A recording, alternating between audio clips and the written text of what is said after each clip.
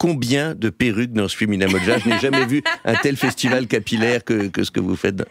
Alors Aminata, il faut savoir que à chaque, euh, à chaque changement de situation, de statut, elle, elle adopte euh, une nouvelle, une nouvelle perruque, un nouveau look. Elle, elle, est en perpétuel, elle est en, en, en, changement constant. Elle, se, cherche aussi. elle se cherche, elle a envie de, de paraître éduquée, d'une bonne famille, alors que, euh, sans, sans, sans, trop en dire du film, elle a commencé vraiment sans rien du tout, euh, dans la plus grande pauvreté. Euh, C'est très fin le, un parcours social par les cheveux. Vous, vous, Daouda, vous avez, vous avez ces, ces, cheveux de la grande bourgeoisie de Bamako, la grande bourgeoisie malienne, cette coiffure très particulière. Oui, les auditeurs ne peuvent pas s'en rendre compte, mais effectivement, j'ai un look très, très soigné. Euh, mais c'est dans, dans, dans les films, j'aime bien travailler les looks et effectivement, il y a, cette progression euh, chez le personnage d'Ina qui dit énormément.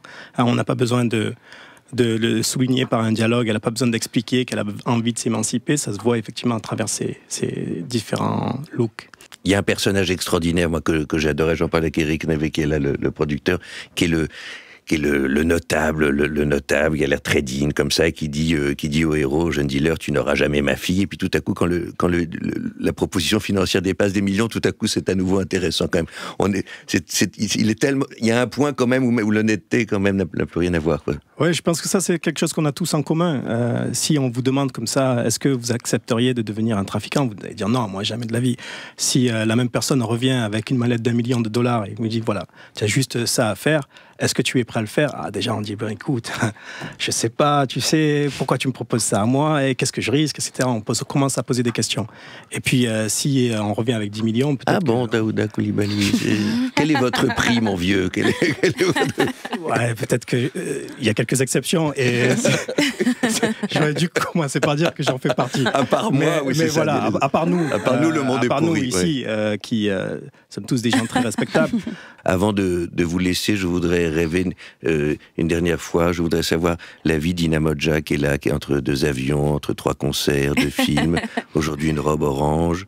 Ina, décrivez-nous, décrivez-nous une journée. Le matin se lève. Vous êtes dans quelle ville? Là Alors, je suis à Bamako. Bamako, le jour se lève. Je me réveille assez tôt parce que le soleil est, est très chaud dès le matin, donc j'aime bien profiter de de, de, la matinée pour passer du temps avec ma famille. Vous laissez les volets clos? Non, je les laisse ouverts. Je les laisse ouverts et, euh, et surtout, je suis dans la cour de ma famille où euh, on a des allées et venues de, de voisins, d'amis, de gens que j'ai pas vus euh, depuis plusieurs mois. Le rituel des saluts, des bonjours? Qui dure très longtemps, on Comment ça va et toi?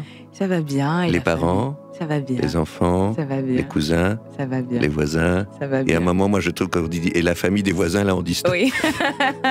et en général, on doit aussi demander. Euh, je, je, dois vous demander aussi, Edouard, comment ça va? Bien, Et la famille? Bien, merci. Et les voisins? Ça va pas mal. Et le chien? Ça va, le chien. Et l'ami du chat? Qui est mort. et alors, parfois, on n'écoute pas la réponse quand on demande trop des nouvelles. Exactement.